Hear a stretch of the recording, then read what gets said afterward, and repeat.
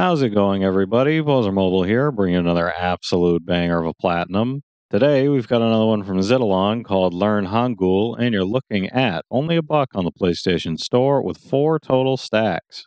Finally, something that isn't a one button game, am I right?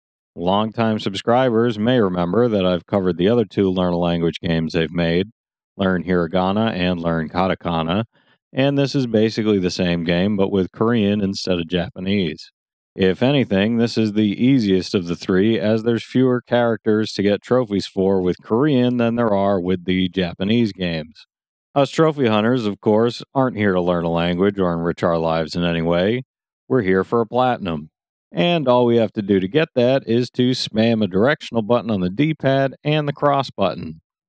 That's it. Directional buttons will choose an answer for you, and cross will reset the game when you lose, so just spamming those will eventually get you the platinum.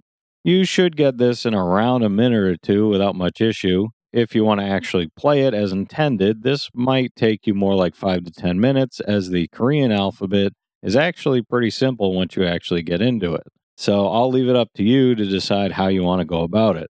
For a dollar, you can't really go wrong here. That'll do it for me, though, everybody. Super simple, easy, cheap, fast platinum today. If you enjoyed today's video, be sure to leave a like, comment down below which number platinum this was for you, and subscribe to the channel for more trophy hunting content. This was number 966 for me.